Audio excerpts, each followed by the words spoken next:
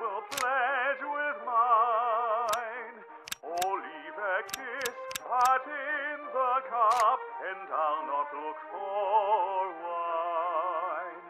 The thirst that from the soul doth rise. Conquer the sky. Take down all enemy units. Prepare the artillery fire.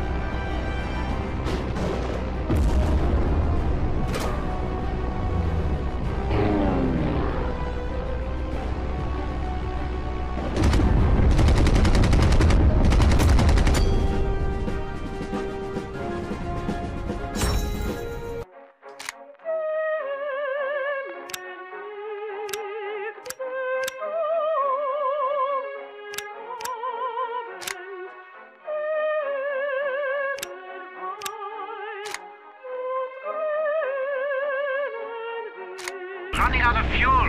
Collect fuel balloons to complete the mission.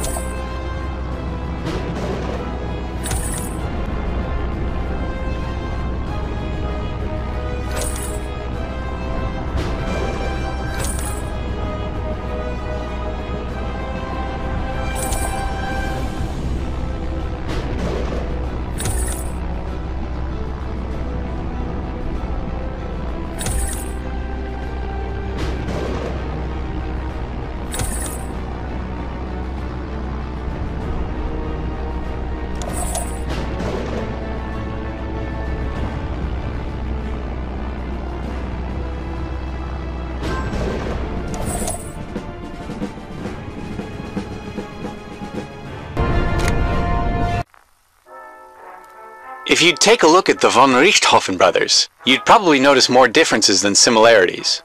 Where the one remains calm, the other can't keep his mouth shut. While Manfred sees everything through the lenses of his duty, Lothar tries everything to separate his life from the war. Manfred's authority often holds the squadron together. Lothar doesn't have any real authority left, does he? I do not tell it at all for you to choose which attitude is better or who's more fun to be around. Instead, I want to show it is possible to remain yourself, as everything you are on the ground will mirror itself in the air. Richthofen's father once made a distinction between a shooter and the hunter. The first one, contrary to the latter, is not satisfied with one victory alone. Where Manfred would think his mission accomplished, Lothar would attack and shoot, attack and shoot, again and again. Maybe it is because they are so different when they fly together, you can't really stop them. Because energy, swiftness, determination, after all, make us all the same. Use bombs to destroy all mission targets in a limited amount of time.